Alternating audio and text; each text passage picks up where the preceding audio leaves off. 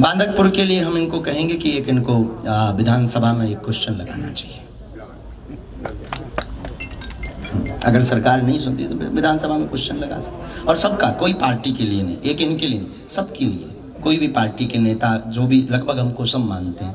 हमारे सब अपने हैं, हम किसी भी पार्टी के नहीं हैं। हमारे सब हैं। हम सबको निवेदन करेंगे बांदकपुर के लिए कि जितने भी दमोह ज़िले के वासी हैं बांदकपुर जागेश्वर तीर्थ आपके यहाँ का यह तेरहवा ज्योतिर्लिंग भारत में कहा जाता है। आपके लिए गौरव का विषय हो, होगा। तो अपने नाम को बढ़ाने के चक्कर में कि हमारा नाम रोशन हो, तभी हम करवाएँगे।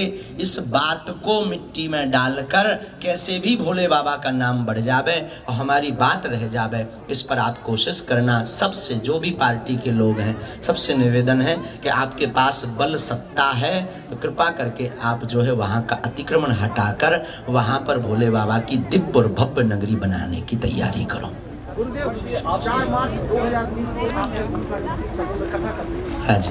सफल हो अब वो करेंगे तो हम बताएँ।